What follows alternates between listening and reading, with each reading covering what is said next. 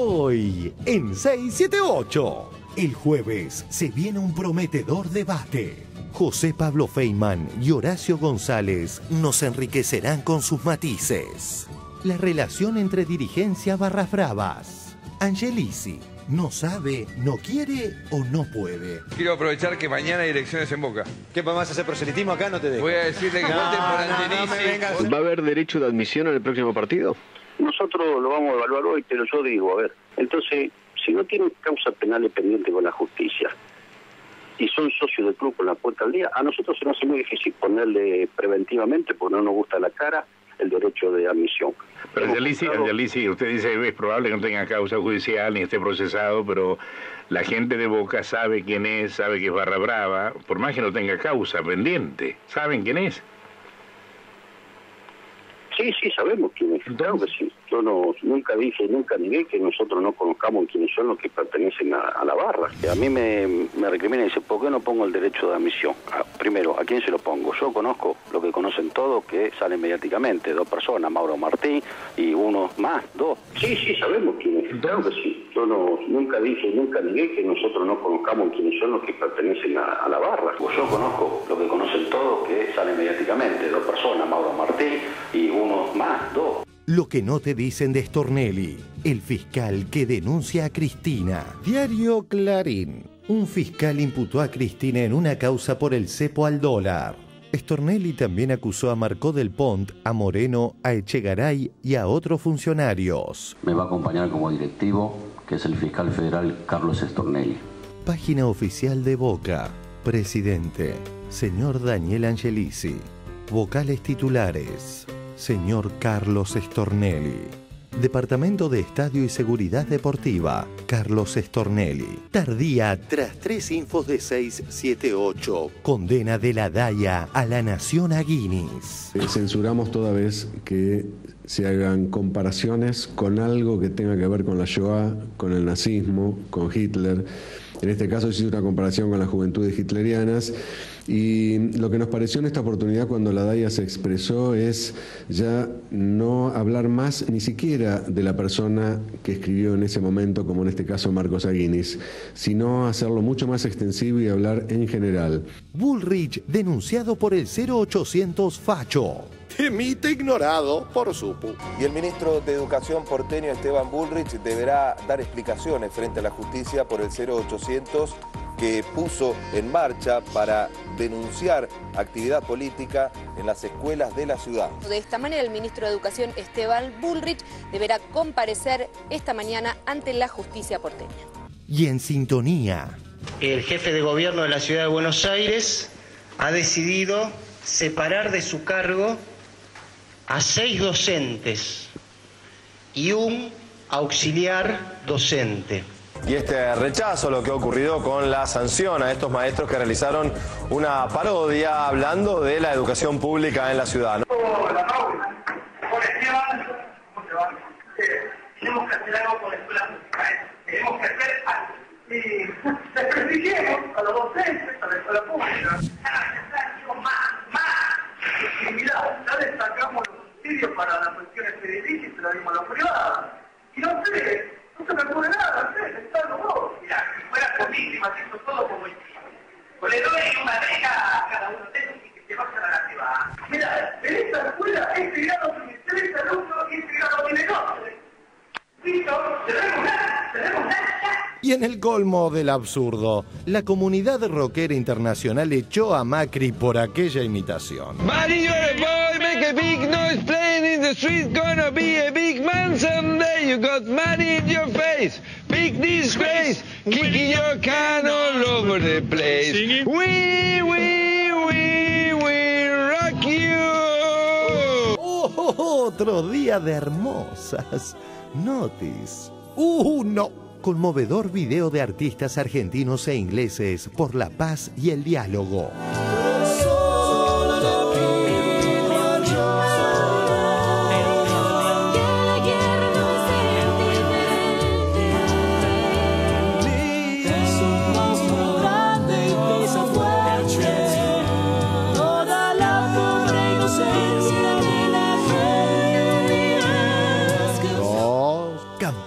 Los campeones Clubes 2x4.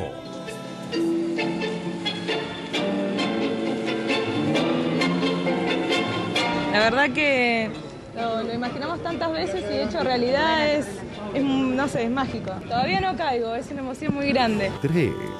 Nos ve un ciolista famoso. Voy a pedir esto al aire. Yo quiero, así como la- eh, los de 678 desafiaron a la nata a debatir, eh, si tenés huevo, ¿por qué no haces un mano a mano acá con el mago sin diente, un truco cada uno?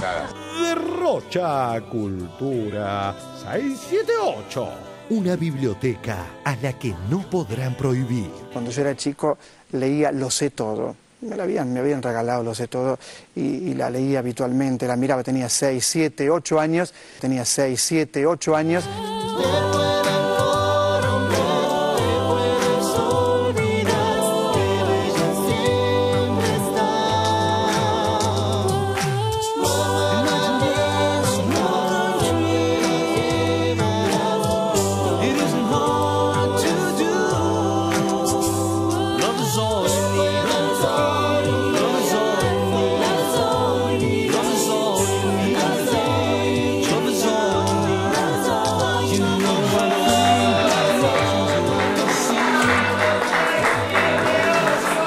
Buenas noches, bienvenidos a 678.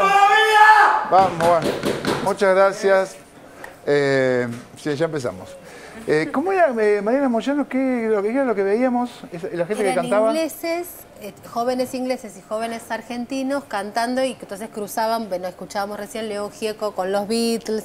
Me parece a mí que es un pequeño del director Barenboim.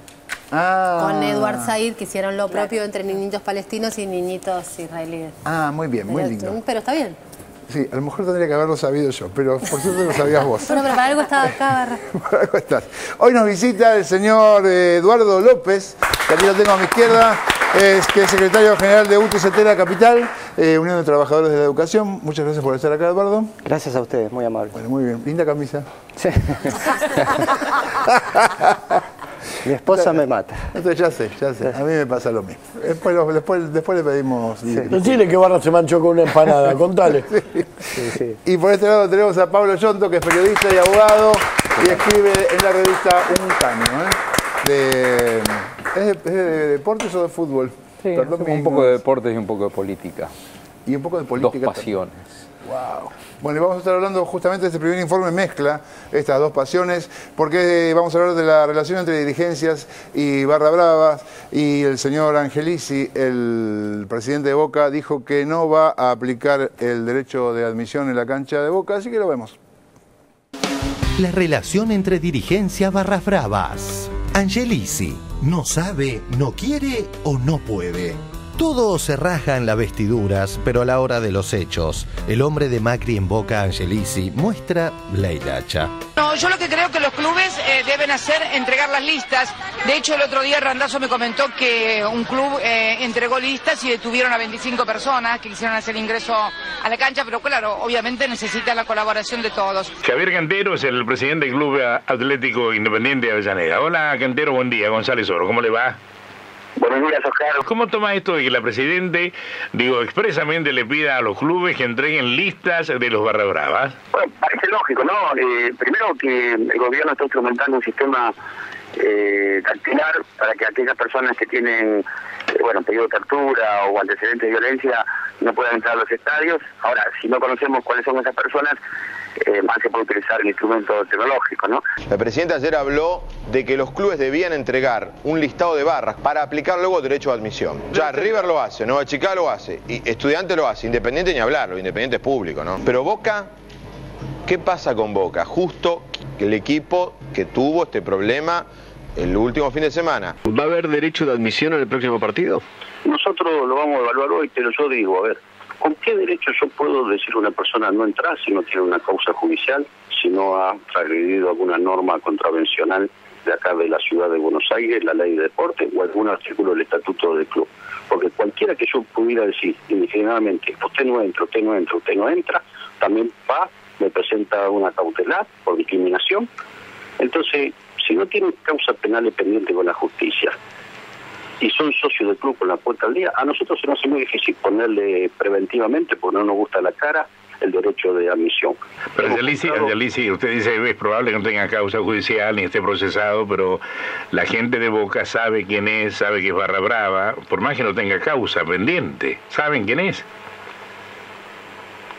Sí, sí, sabemos quién es. Claro que sí. Yo no, nunca dije, nunca negué que nosotros no conozcamos quiénes son los que pertenecen a, la barra. Que a mí me, me recrimina y dice, ¿por qué no pongo el derecho de admisión? Ah, primero, ¿a quién se lo pongo? Yo conozco lo que conocen todos que salen mediáticamente, dos personas, Mauro Martín y uno más, dos. Sí, sí, sabemos quién es. Claro que sí. Yo no, nunca dije, nunca negué que nosotros no conozcamos quiénes son los que pertenecen a, la barra. Pues yo conozco lo que conocen todos que salen mediáticamente, dos personas, Mauro Martín y uno más, dos. Si yo fuera presidente de Boca, que Mauro Martín y que Diceo me hagan 800 juicios por discriminación, no sé si quedó claro, 1.500 juicios por discriminación, porque yo les aplicaría el derecho de admisión. El derecho de admisión que dicen que tiene que estar en cabeza de los clubes.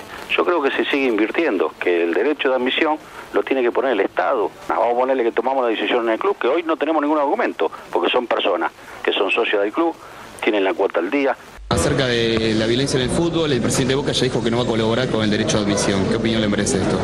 Y de nuevo, ¿no? Si uno no se carga cada uno de lo que le corresponde y hay iniciativas muy claras, muy concretas por parte del gobierno nacional y bueno, el que justamente no quiera colaborar por algo lo hace y algo está apañando, ¿no? Mañana juegan con Boca, ¿no? Exactamente. ¿Van a pedir el derecho de admisión de los, de los hinchas de Boca? Sí, sí, sí.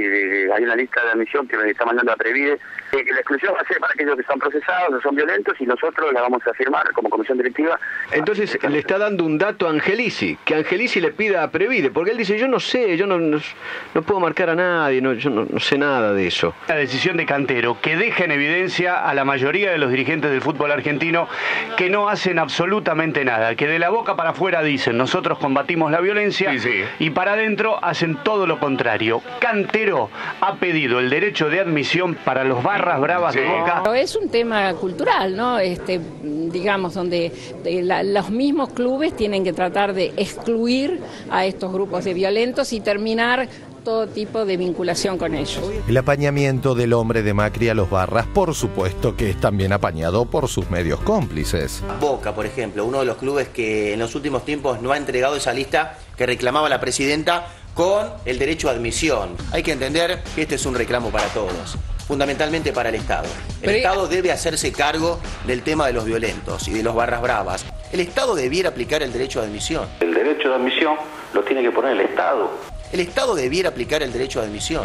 A pesar de los tiros entre las facciones de la barra boquense, el tema ya no ocupa portadas de Clarín y al supuesto especialista Gustavo Gravia se le indicó que no repita lo que dijo hace dos meses. Hilda Garré se sacó foto con Cantero, eh, Abal Medina se sacó foto con Cantero, funcionario de la provincia de Buenos Aires se sacó foto con Cantero porque quedaba bien, había, pero a la hora de hacer no, hacen nada. Déjame sí hacer una diferencia entre lo que ocurre en Capital Federal y en provincia de Buenos Aires, porque yo veo que en los últimos tiempos, en el último año, desde que está Nilda Garré, por lo pronto en Capital Federal intentan hacer, sí, intentan hacer las cosas mucho más organizadas, aplican derecho de admisión, aprietan a los clubes para que los clubes pidan derecho de admisión. Lo que pasa es que muchas veces los clubes no ejercen ese derecho. Gracias, Gustavo. un punto a favor para el Ministerio de Seguridad Nacional. Sí, señor. Todo tiene que ver con todo. Y esta mañana sobre esto informaba clarín.com.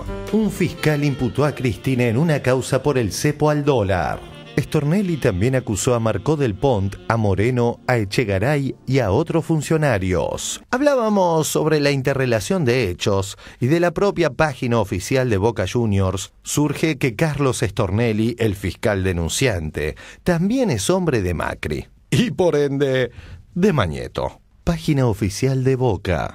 Presidente, señor Daniel Angelici. Vocales titulares, señor Carlos Stornelli.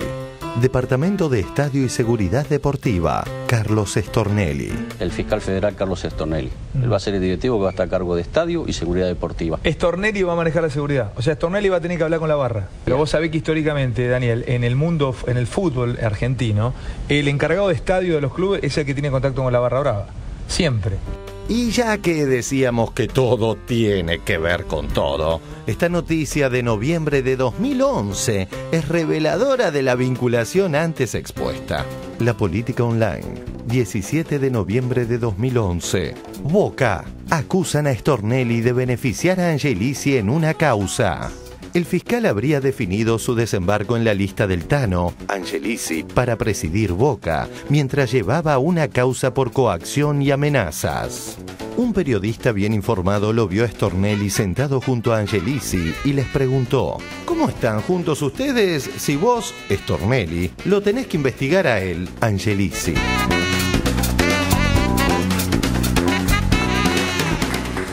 Eh, a ver, Pablo Yonto, ¿qué, ¿qué está pasando con este asunto? 2012 puede ser el año que quede marcado históricamente como el año en que empezamos a terminar con el tema de las barras bravas en la Argentina. Y el puntapié sin duda lo dio Independiente, eh, hay que reconocer a esa comisión directiva y a Cantero lo que empezó a hacer hace unos meses. Hoy el Estado ha decidido también profundizar este primer tema que es la cuestión del derecho de admisión. Hoy hubo una conferencia de prensa de, de Randazo, eh, estuve ahí cuando él entregó una nota que eh, creo que hoy a la mañana el gobierno le dio a la AFA diciendo estamos dispuestos a llevar adelante el derecho de admisión, pero aquí hay clubes que el otro día, o sea el fin de semana pasado, entregaron listas de supuestos barras bravas para que no entren, para que se aplique el derecho de admisión, y no había nombres y apellidos de muchos, había apodos, no había DNI, es decir, listas incompletas. Otro detalle, Boca entrega una lista donde no están los dos más conocidos líderes de, los dos grupos de la Barra Brava, Diceo y Mauro Martín. ¿No están? Eso no lo entregó Boca, ahora, cuando tenía que entregar el, el listado, entregó otras personas. y el gobierno le dijo a la AFA, Grondona, estos son los clubes que no han entregado todavía el listado de hinchas a los cuales hay que aplicarles este derecho de admisión.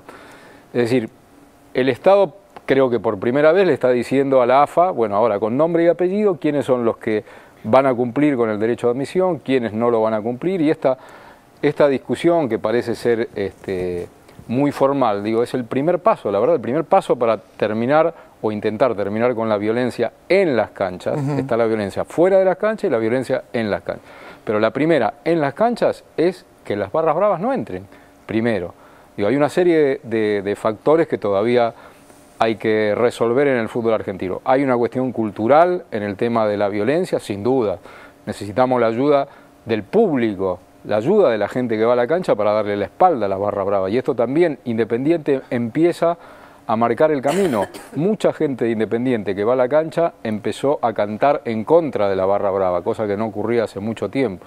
Entonces, si empieza a actuar el Estado, si empiezan a actuar los hinchas, los socios de los clubes, y por último, o, le ponemos el lugar que querramos, los dirigentes, digo, es probable que podamos hablar dentro de unos años. ¿Te acordás que en 2012 se empezó por fin en la Argentina a resolver el tema de las barras? el, tema, el, tema, el tema de Stornelli, ¿cómo, ¿cómo es?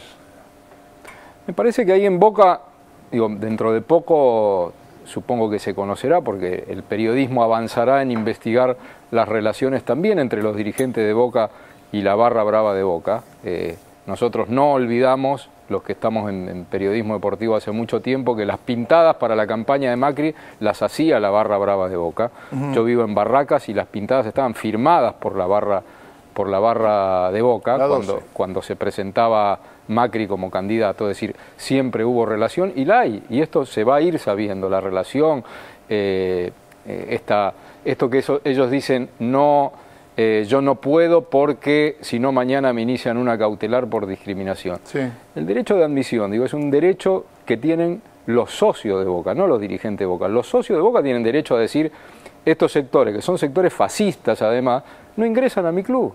Son los socios, digo, no es Macri que se para. Ahora, es hora de que los, los hinchas de Boca, los socios de Boca, le reclamen a su dirigencia, a Stornelli, a Macri, que Macri es el que dirige atrás de las cortinas el club, este, y al presidente que termine con las barras. ¿Macri dirige el club?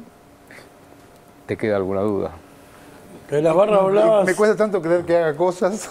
Eh, las barras bravas y su relación con la política en todos los partidos, absolutamente en todos los partidos políticos. Igual me parece que una pata que faltó nombrarle a Pablo, que coincido plenamente con él, es la policía. Para que la- las barras bravas últimamente dejan de pelearse con otros clubes. Todos los incidentes que hubo fueron entre las barras bravas y los mismos clubes. ¿Por qué se pelean? Por plata.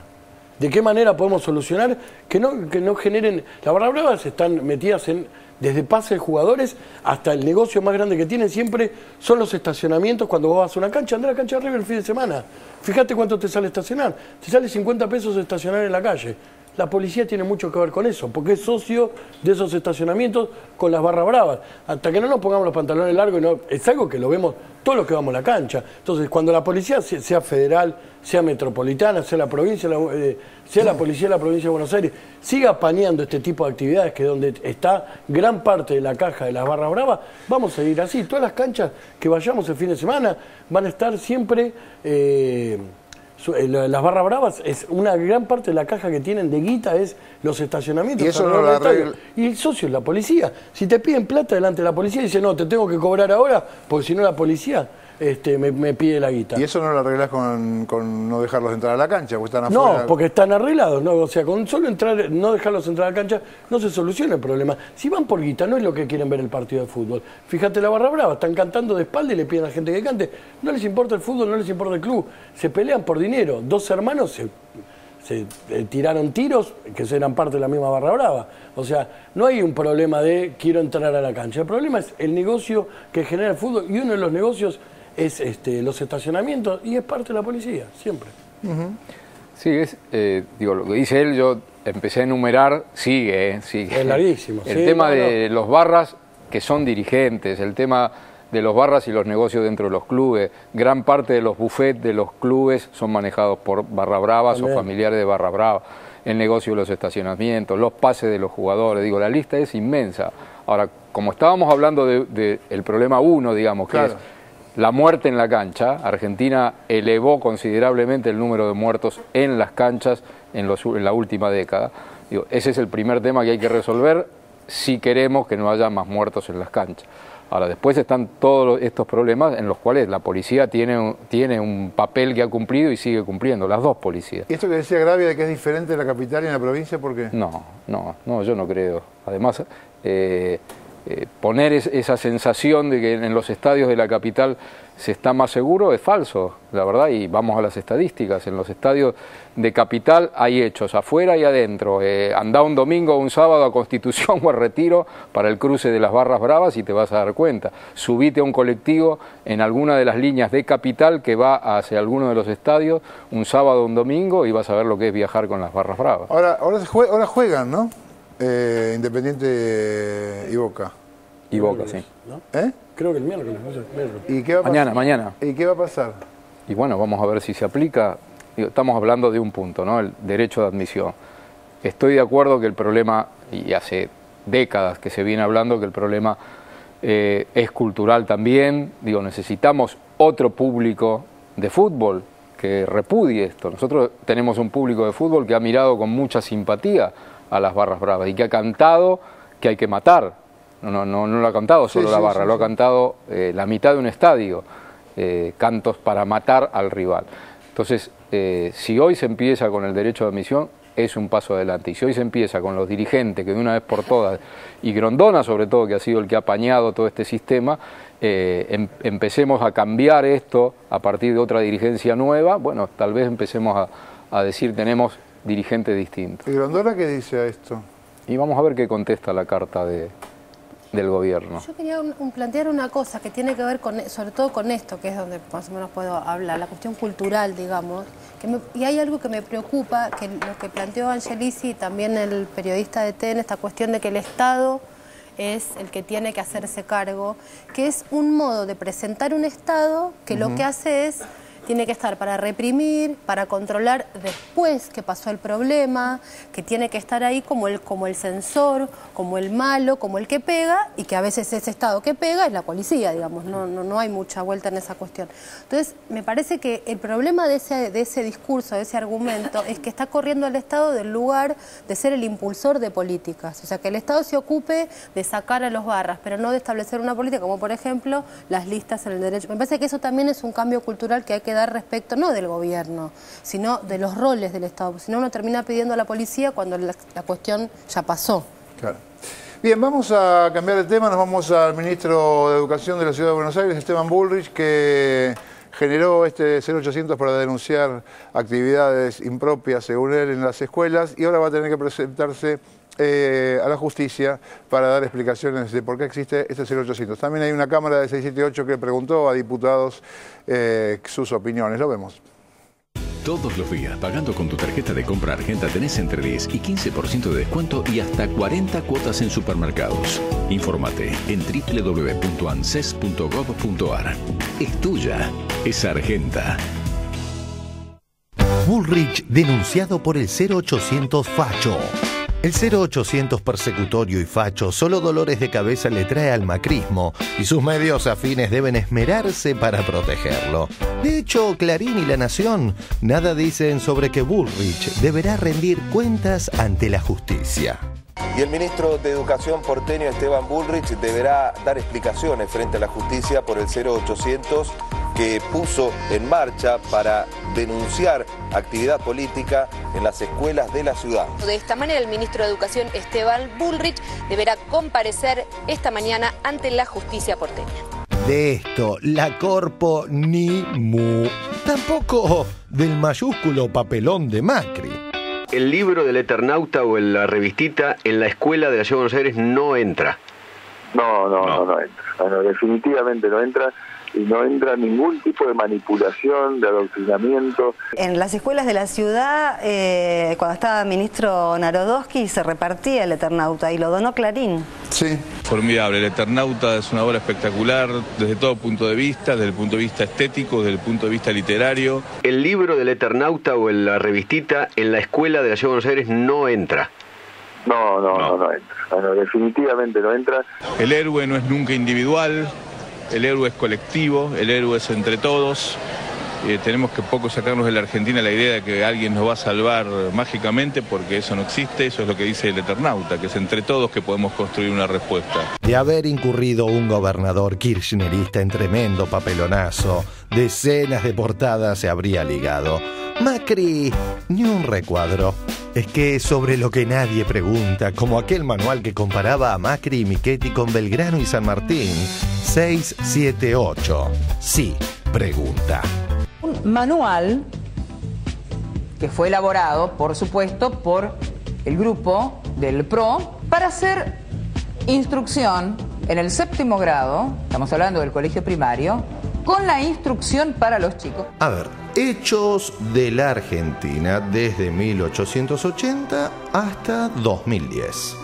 1880, gobierno de Roca, 1912, ley Sanz Peña, 1916, Irigoyen es elegido presidente, 1947, ley del voto femenino.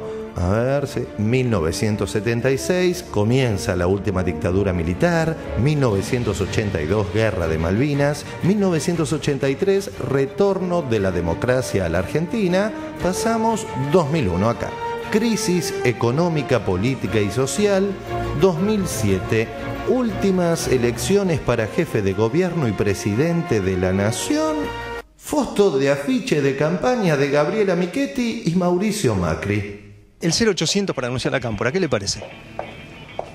¿Me va a contestar hoy? No. ¿Una opinión al respecto? ¿En serio no me va a contestar, diputada? ¿Ascensor conmigo? Dale, vamos todos en el ascensor.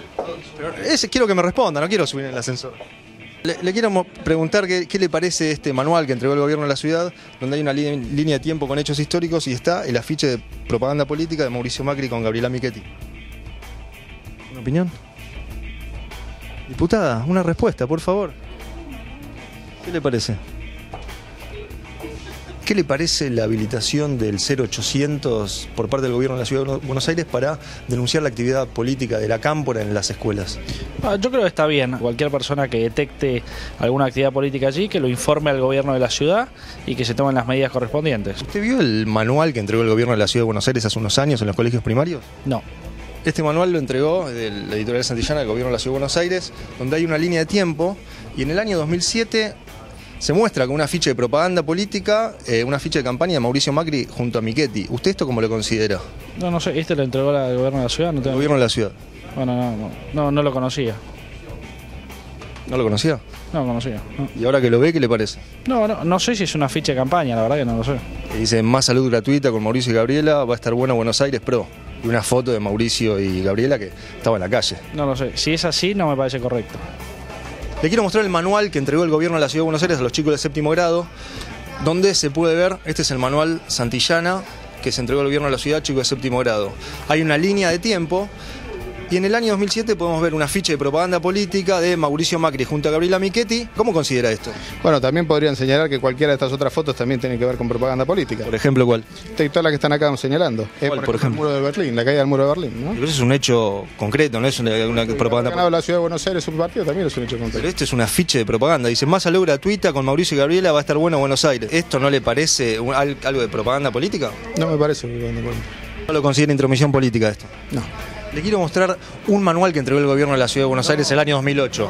Hay una línea de tiempo y en el año 2007 eh, se ve el triunfo de las elecciones de Mauricio Macri con Gabriela Michetti. ¿Cómo entiende esto? Pareciera tipo propaganda. No, no me parece, no me parece feliz. Diputada, le podemos hacer una preguntita, ¿cómo le va? El 0800 para denunciar la cámpora, ¿qué le parece? ¿Una opinión al respecto, diputada?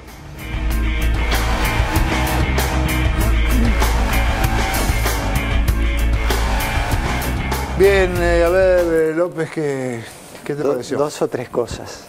Primero, respecto al informe anterior, ojalá Macri tratase a los docentes con la misma consideración que trata a los barras bravas, porque la verdad que eh, lo vi absolutamente emotivo con ellos. Eh, hoy acaba de separar el cargo a seis docentes, le, le hizo el derecho de admisión. A seis docentes, yo hablé con ellos, 25, 30 años de antigüedad en la docencia, justamente por hacer una actividad que se opone al cierre de grados. Pero bueno, eso para más adelante. Lo segundo, el Eternauta que plantearon ahí. El Eternauta, Macri dijo no entra a las escuelas, el Eternauta está en las escuelas. Eh, el currículum, que es lo que nosotros tenemos que enseñar, plantea entre géneros y subgéneros literarios la historieta. Nosotros enseñamos el Eternauta, enseñamos Isidoro y Paturuzú, que es el ídolo de Macri, que dijo que Isidoro es su ídolo, enseñamos Mafalda, que estuvo prohibida en la dictadura. Eh, el Eternauta está y el joven tiene que sacar sus propias conclusiones. O sea que el Eternauta está dentro de las escuelas y va a seguir mal que le pese a Macri, como va a seguir Mafalda, Isidoro, Paturuzú y cuando tengamos que hablar de esos temas, todos los temas que el currículum dice. Con respecto al 0800 yo quiero historizar un poco. Hubo otro 0800 que hizo Macri cuando recién asumió, que cayó en el olvido, que era 0800 ñoquis, que era para que los padres, claro, y los municipales y los maestros denunciemos a los ñoquis. Cayó en la nada, no hay un ñoqui. Este, prohibió los materiales del Bicentenario, un- unos materiales hermosos que hablaban de los pueblos originarios, eh, los afrodescendientes, las mujeres y los trabajadores, los prohibió Bullrich, los censuró, nosotros los docentes los publicamos. ¿Quién los había hecho? Los metrodelegados, los piqueteros, los sindicalistas, no, esos materiales del Bicentenario los había hecho la dirección de currícula del gobierno de la ciudad. Y como no les gustó, porque bueno, no era la historia que le gusta al ministro Bullrich Luro Puyredón, lo censuró. Este, ¿Es Luro y Puyredón? Luro Puyredón, sí, familiar de este, Patricia Bullrich, una familia patricia. Y de banana. Y de banana. Bienvenidos todos y todas. Este, de- después pidió la lista de alumnos que reclamaban por mejoras edilicias que las mandemos a la comisaría. Fuimos a la justicia y le dijimos, no, no vamos a mandar la lista de alumnos que reclaman por mejoras edilicias a la comisaría. Después las juntas de clasificación y disciplina las quiso derogar el año pasado. Nosotros peleamos porque entendemos que los docentes tienen que ser designados por estricto orden de mérito. Al revés de lo que él quiere hacer creer. Nosotros toda la pelea del año pasado es porque el docente tiene que ser designado no por ser del PRO o del Frente para la Victoria, o amigo mío, o amigo de Firmus, o amigo de Bullrich. Tiene que ser designado porque tiene títulos, antecedentes culturales y antigüedad. Si a vos un médico te va a operar, pretendes que sea un buen médico, no que sea de un partido político. La pelea fue por eso. Nosotros estamos de acuerdo con que el acceso a los cargos sea por estricto orden de mérito. De hecho, hay 17 sindicatos, mi hija va a una escuela pública, como digamos muchos sabrán, tiene 11 profesores en el secundario y los 11 tienen 11 posturas distintas y bienvenido así sea. Eh, ahora viene el 0800 intromisión, este, eh, persecución política, injerencia política. Yo quería mostrar esto, que me lo dio recién Emil Semoller, que es una compañera, estudiante, que estuvo desaparecida en ocasión de la Noche de los Lápices. Dice, subversión en el ámbito educativo. Conozcamos a nuestro enemigo. Buenos Aires, 1978. Seamos cuidadosos cuando nosotros eh, mezclamos denuncia, política y jóvenes. Eh, la política, pese a lo que dije recién de las juntas de clasificación, la política está en las escuelas. Toda pedagogía es política. Yo doy clase, anoche estaba dando clase y depende cómo te pares en la escuela, es tu política pedagógica. Mi política pedagógica es la diversidad, todos los colores, la historia mitrista y la historia revisionista y que el joven saque sus propias conclusiones. Hay otra política pedagógica, me paro, digo lo que es, estudien y repitan. Entonces, toda pedagogía es política, la política está en, las escuelas, y quiero decir, ayer una compañera de escuela, anoche, en Soldati, Liliana, la voy a nombrar, me decía, pese a todo esto, los chicos quieren reflotar el centro de estudiantes. Le habían comentado, es una decisión de los chicos. Entonces, quiero decir con esto, eh, nos ataca Macri por lo que hace bien la escuela pública que ser diversa, plural, entran todos, entra el hijo del cartonero y entra el hijo del bioquímico. Tendría que relajarse, tratarnos con la misma condescendencia con la que trata a los barra bravas o sus amigos. Y la verdad, eh, o con mucha mejor, mejor dicho, eh, que se relaje. Yo estoy orgulloso de la escuela pública. La escuela pública va a seguir enseñando, resistiendo, construyendo y soñando pese a Macri. Si hay tantos chicos desaparecidos, si hay tantos, 500 docentes desaparecidos, Macri, por más que nos quiera poner camaritas, sacar las juntas de clasificación, yo le decía hoy a las maestras que, se pararon del cargo, eh, lo hace porque estamos enseñando, porque estamos resistiendo, construyendo y soñando.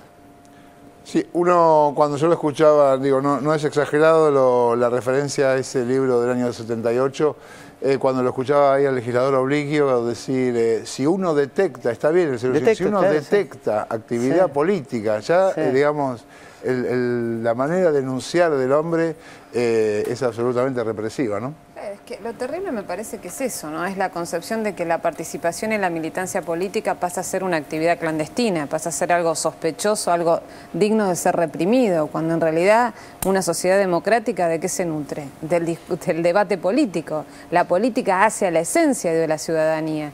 ¿Y dónde se, van a, dónde se forman los ciudadanos? En la escuela. Entonces me parece que es tan incongruente decir que son democráticos con estas medidas que lo que hacen es ocultar un autoritarismo avasallante, porque pensar que hoy en día, ahora estaba mirando recién los portales de, informativos y hay una noticia de Clarín que dice la cámpora violó la ley y hizo pintadas y actividades militantes en escuelas de la provincia de Buenos Aires pero ¿qué es la cámpora? La cámpora que es una, agrupación clandestina, eh, tiene, tiene que pedir autorización en una sociedad democrática para poder funcionar. Digamos, está todo tergiversado y con una gran hipocresía, porque al mismo tiempo hoy en, en, Facebook había distintas denuncias de madres de escuelas de la ciudad de Buenos Aires que habían llevado a sus hijos supuestamente a Boca a una actividad y les repartieron remeras extra large del PRO remeras amarillas a los nenes de la primaria. Entonces, vos decís, ¿cuál, ¿de qué estamos hablando? ¿Por qué son tan truchos, tan hipócritas y por qué los medios protegen esto que es retroceder en el debate democrático? Estamos hablando, es maravilloso que los chicos participen. Yo pertenezco a una generación donde participar era tener miedo. La posibilidad de que los chicos argumenten, debaten, es maravillosa. Digamos, gente, hay que ser muy obtuso para pensar como piensa un hombre como Esteban Bullrich, es ministro de Educación de la Ciudad de Buenos Aires. La verdad que es patético que un tipo joven, supuestamente un liberal, piense de la forma que piensa. Ahora, yo me, eh, recordaba, eh, escuchaba recién, lo, lo hemos pasado varias veces a Narodowski hablando de- del internauta, que efectivamente él cuando fue ministro de Educación lo repartió, Sí. y pensaba en las palabras que decía, eh, que, que- que sostenía, bueno, el héroe es colectivo, Sí. nadie se salva solo, digamos, uno aspira a que haya mucha gente por afuera de la cámpora, por afuera del kirchnerismo, por afuera de mucha, digamos, es un- una cosa muy amplia el concepto de que el héroe es colectivo.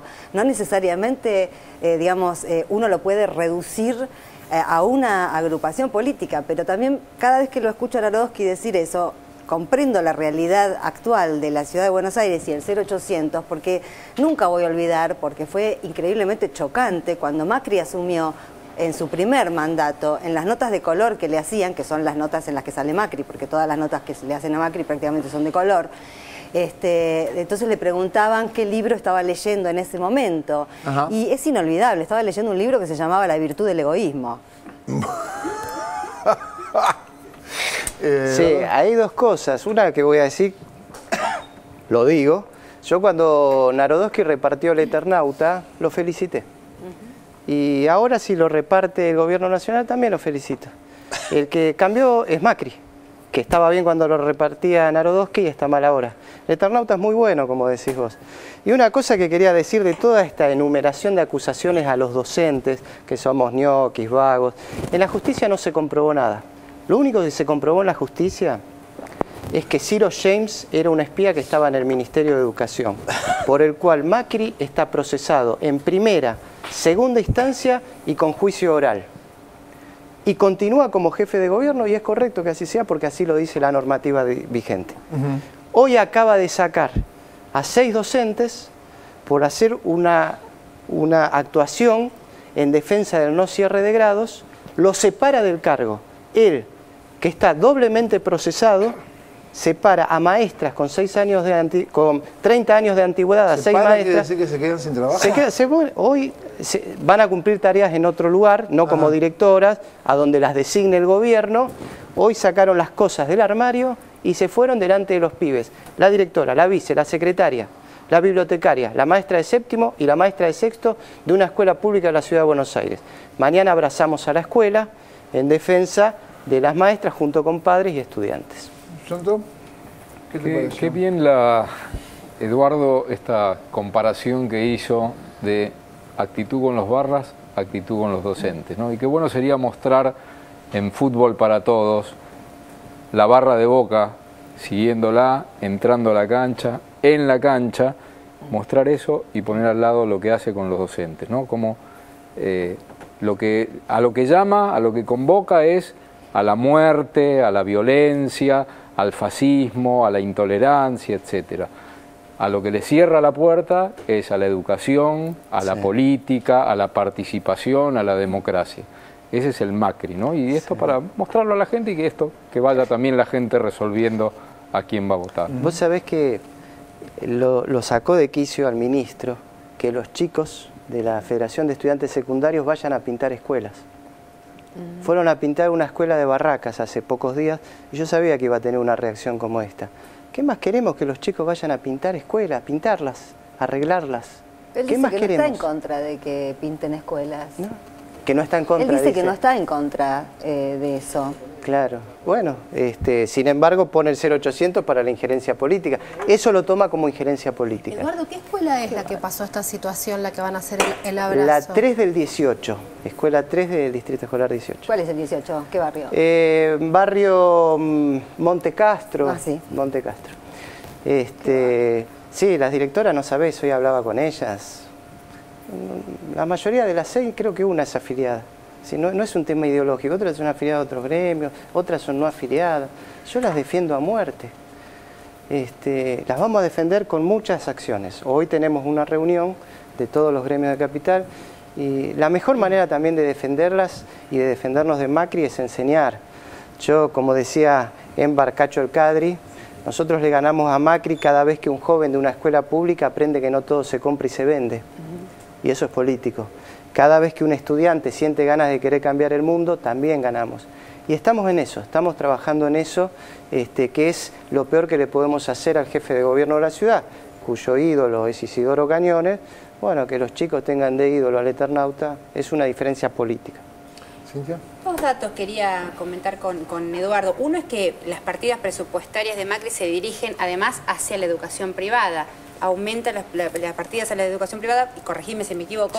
Y la otra es que la dimensión de la gravedad de haber sacado a estos docentes de sus cargos en un sumario que no tiene precedentes, salvo para casos gravísimos de, denuncias de abuso sexual en las escuelas. Sí, exactamente. Las dos cosas. Este, primero, sí, es verdad, crece el subsidio a la escuela privada en detrimento de la estatal.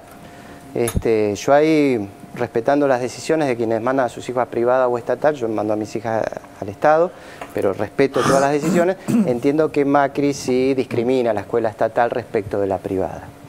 Permíteme agregar un elemento simplemente respecto a esto de las escuelas privadas. Ese es otro gremio que no ha podido tener sus paritarias. Los docentes privados no han podido todavía tener sus paritarias. También es como otro temita que se hace silencio. Sí, hay que ver, y el adoctrinamiento en determinadas, yo creo que en Cardenal Newman adoctrinan, que es donde estudió Macri, y creo que en la escuela de mi hija educan. Este, y creo que hay que avanzar para formar hombres y mujeres libres. Al menos en la escuela de mi hija no dejan al hijo del cartonero en la puerta. Entra. Entra y se educa con el hijo del bioquímico. Que eso no es un disvalor. Yo creo que es mejor educación. Yo creo que mi hija aprende mejor en una escuela del Estado. Acá discrepo hasta con algunos compañeros en esto. Yo tengo dinero para mandar a mi hija a una escuela. López, hoy hablábamos de eso precisamente, hablábamos de eso y creo que quiero agregar esto para que sigas.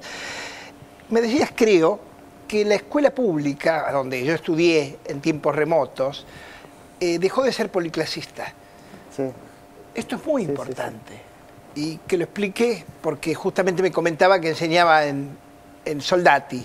La pregunta básica, le digo, bueno, ¿qué tipo de, alumnos van?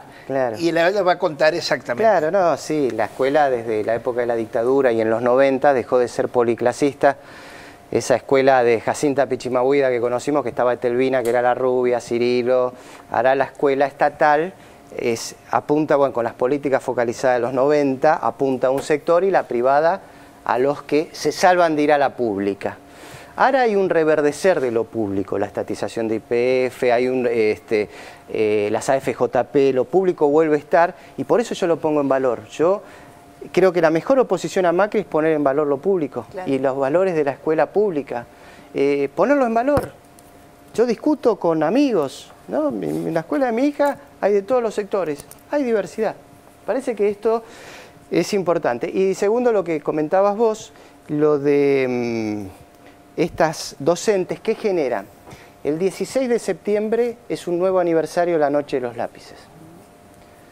Ya me llamaron directores diciendo, Eduardo, no voy a hacer el acto. A ver si me acusan de hacer política. Digamos, en político. claro. digamos, ya están suspendiendo actos. ¿Qué decimos nosotros? Que durante el mes de septiembre, en homenaje a esos estudiantes, hay que hacer actos en todas y cada una de las escuelas. Más que nunca por el pibe y la piba que abraza la política es bienvenido en la escuela pública. El pibe o la piba que como un alumno mío me dijo yo quiero ser colectivero, yo quiero que sea el mejor colectivero. El que quiere ser bioquímico, el mejor. El que quiere ser periodista, el mejor. Esto es la escuela pública. El mejor para todos y todos. Y hay chicos que abrazan la política y quieren formar centros de estudiantes. La política no es mala palabra es la herramienta para mejorar la sociedad.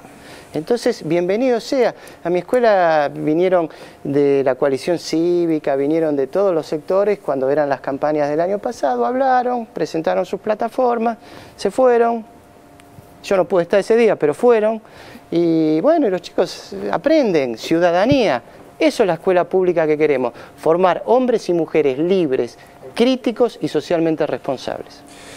Bien, vamos a... Son muchos días ya con el 0800, esperemos que la justicia, para mí son demasiados días ya con que existe eh, con denuncias de gente que detectó, vaya a saber después qué hace la gente de Macri con estas denuncias, a mí me preocupa muchísimo, eh, así que esperemos que la justicia haga lo que tiene que hacer, que es que eso no exista más. Ahora vamos a declaraciones de gente que está del lado no manieto de la vida y la poca repercusión que ha tenido esto, lo vemos. Todos los días, pagando con tu tarjeta de compra Argenta, tenés hasta un 15% de descuento y hasta 40 cuotas en farmacias. Informate en www.anses.gov.ar. Es tuya, es Argenta. Capusotto, Grandinetti, Fito y Echarri. El lado no manieto de la vida.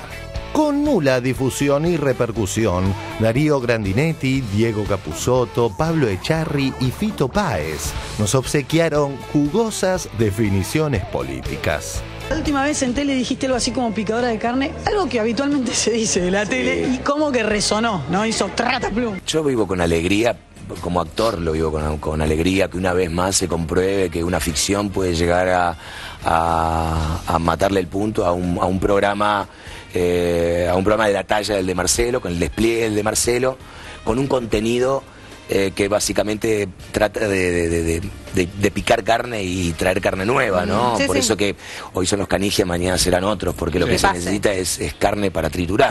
Diario Clarín, espectáculos. Pablo Echarri. Vivo con alegría que graduados le ponga los puntos a Showmatch. Con, con alegría que una vez más se compruebe que una ficción puede llegar a, a- a matarle el punto a un, a un programa eh, a un programa de la talla del de Marcelo. Con, con alegría que una vez más se compruebe que una ficción puede llegar a, a matarle el punto a un, a un programa a un programa de la talla del de Marcelo. Vivo con alegría que una ficción le ponga los puntos a un programa que pica carne y busca traer carne para triturar. Es que en este caso sonó tan fuerte cuando es algo que habitualmente se dice de la tele. Bueno, habrá que ver quién, quién fue el que lo destacó, ¿no? Habrá quien fue que ver quién fue que quien levantó esa noticia y qué es lo que intenta de alguna manera destacar, ¿no? O sea, si, lo- si vemos el recorrido es muy fácil. ¿Te haces mala sangre cuando ves los diarios? Eh, sí, sí, sí. A ver, es un momento bárbaro, es muy buen momento. Me parece que estamos viviendo un momento inmejorable. Y cuando se aplique en su totalidad la ley de medios va a ser mejor. Incluso para la oposición va a ser mejor, me parece. Va a ser mejor para todos, porque van a tener también la oposición también va a tener más lugares a donde ir. Me amargo con algunas cosas. eh, Siempre con, la- las mismas. bueno, más o menos, sí, con las que tiene que ver con la, con la incapacidad, con la mentira, con, el, con estos que se gastan el, el 70% del presupuesto en publicidad y, y no son capaces de poner el 2% en, en resolver el problema de los subtes, por ejemplo. Mi abuela de- de- decía que sinvergüenzas, decía. son sinvergüenzas. Hoy estamos viendo a los impresentables, a los inútiles, a los incapaces, a los sinvergüenzas, se les cae la máscara. Hace un par de años era muy difícil darnos cuenta de esto, o nos costaba más. Eh, estábamos más acostumbrados a comer la comida que nos servían. Ahora vemos lo que cocinan, ahora se- los vemos cocinar lo que nos van a traer. Entonces ya no como cualquier cosa. La política también hay que decirlo, es, es, quilombo, es debate, es pugna. Es, es conflicto. O sea, basta de hacernos los bien pensantes, que nos sentamos todos a la mesa y, sí, que todo- está todo perfecto. enseguida, Dejémonos de joder con eso, que es una careteada eh, absurda que no avanza en ningún lado. En todos lados existen los republicanos y los demócratas, exi- existen eh, los hombres, de- los liberales y los no liberales. En España existieron los republicanos y los otros. O sea, en todos lados ha habido conflictos y hay conflictos porque la vida se trata de eso. No hay que tenerle miedo al quilombo, al conflicto, porque eso es la vida.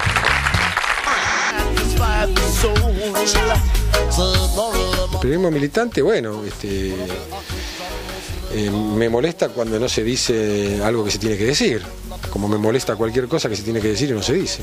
Pero, digamos, no me parece tan obsceno como lo que se dice periodismo independiente, que tampoco existe. El periodismo independiente debería decir cosas que el gobierno hace bien y no las dice, porque todo está en una gran disputa territorial que hace que eh, sea una especie de eslogan el periodismo independiente que sería como la corrección política o el, el, digamos la opinión demo- democrática que todo es una disputa territorial para mí muchachos. A mí a unos cuantos no nos engañan. Me falta el brazo pero no soy boludo. Diario Perfil entrevista a Capusotto.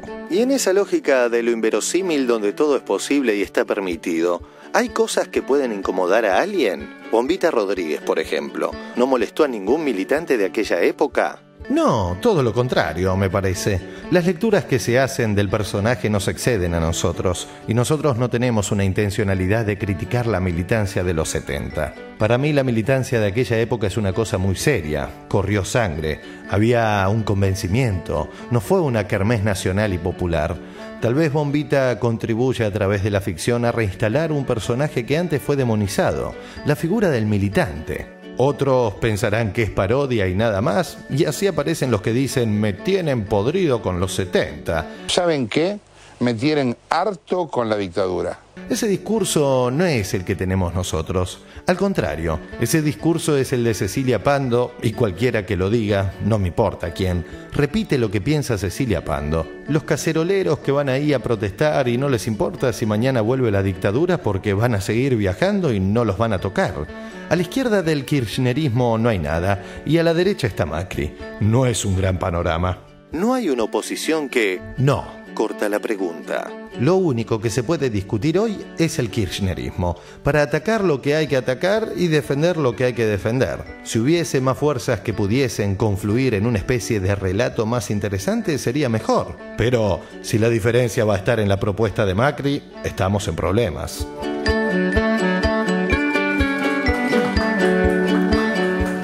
Bueno, un montón de, aparecen ahí un montón de temas que no sé por cuál, cuál te interesó, Jonto. No, siempre, siempre en primer lugar el tema de los medios. Eh, creo que, que, va avanzando la sociedad hacia, y ojalá este año en diciembre, como muchos tienen la ilusión, uh -huh. eh, empecemos con esto del pluralismo y la democracia multiplicado en todo el país. Eh, estamos esperando todos ese momento.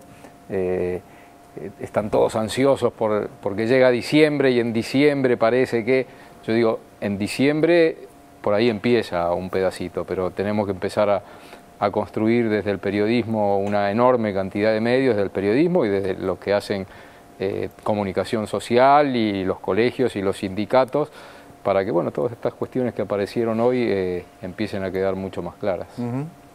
Hay un elemento de estos días que a mí me viene llamando la atención y me parece que cualquiera lo puede comprobar respecto de qué está pasando con, algún, con, los medios que quieren hacer operaciones y no eh, información.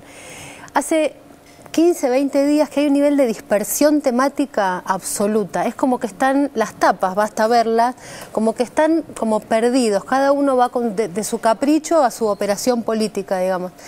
Y me parece que en ese sentido, eh, sean en contra del gobierno o a favor del gobierno, eso no es lo que me interesa, sino que lo que me interesa, que es, esto sí me parece que es muy positivo, es que es un, y en ese sentido creo que la ley de medios gana, es que la política recuperó su lugar. La política es la que pone la agenda en estos días. Lamentablemente, únicamente el gobierno es el que tiene la iniciativa de establecer como los temas. Después, bueno, uno termina girando alrededor de un escandalete de Clarín, digamos, o discutiendo eso, pero los temas de agenda de la, de la, de la vida política los está poniendo la política. Y los medios están, creo que este último tiempo es muy notable en ese sentido, el nivel de dispersión, al punto tal que llega, por ejemplo, La Nación, algo que es muy gracioso y es un día, Nación, un medio de derecha, liberal, como ya sabemos, un día se queja porque hay controles y hoy se queja porque con los controles no se logra que el GNC no aumente. O sea, no sabe si es estatista soviético o si es el medio más...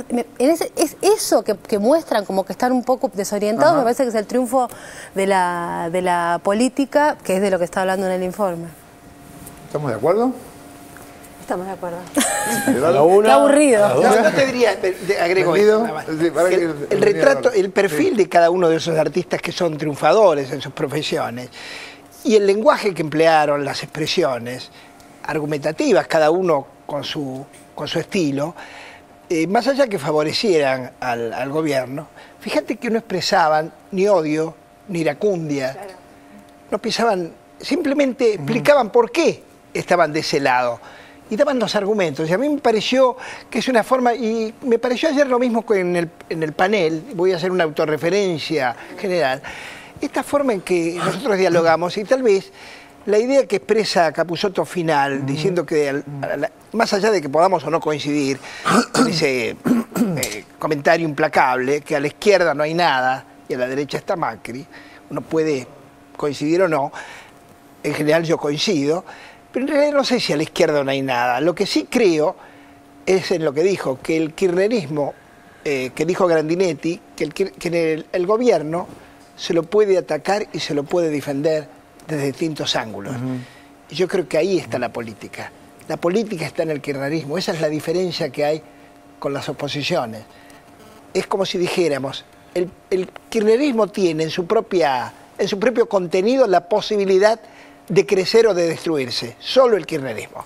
Eduardo. Y la Sí, frase. eh, Perdón, Darío. No, no, no. Ahí este, es, yo también creo que es una época para celebrar, por eso creo que hay que enseñar en diversidad. Hace 20 años nosotros nos traían diarios, el matutino más famoso, a las escuelas y teníamos que dar lectura comprensiva. Una nota era un plan, el diario en la escuela. Sí. Los que somos mayores nos acordamos de eso. Entonces, la noticia, y bueno, a ver si entendiste la noticia. Ahora ya damos lectura crítica. Claro. Dos noticias, Claro. dos puntos de vista y saca tu propia conclusión. Ese es el avance de esta época. ¿Qué más queremos? Eh, te la debo, Cintia. Vamos a hacer un corte y ya venimos.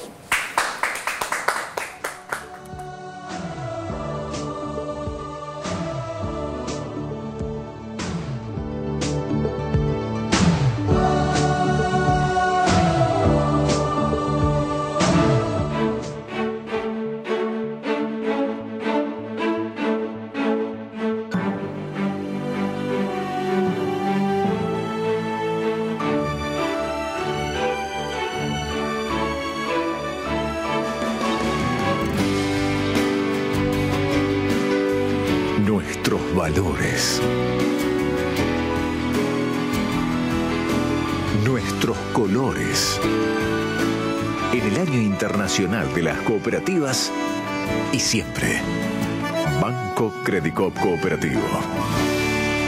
La banca solidaria.